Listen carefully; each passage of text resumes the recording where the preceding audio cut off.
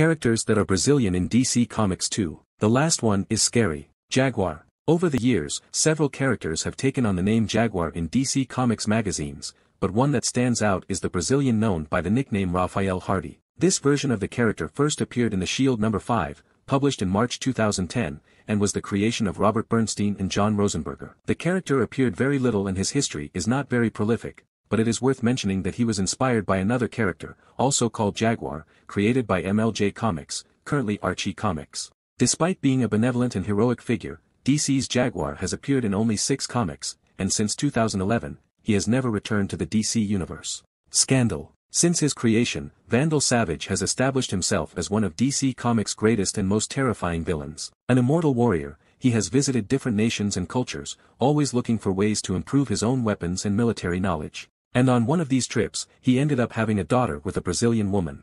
Scandal Savage, created in 2005 by Gail Simone, is that girl. She left her country behind in search of following in her father's footsteps, becoming an unscrupulous and violent villain. She has vast knowledge in the field of martial arts, in addition to having superhuman durability and wielding her lethal swords, the Blades of Lamentation. Yara Flor. If you've been hiding under a rock for the last five years, chances are you've never heard of Yara Flor.